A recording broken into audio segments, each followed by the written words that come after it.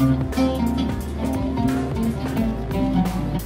7 πύλες, τις οποίες οι 4 από επιστροφή σήμερα ακούγονται μόνο οι 3.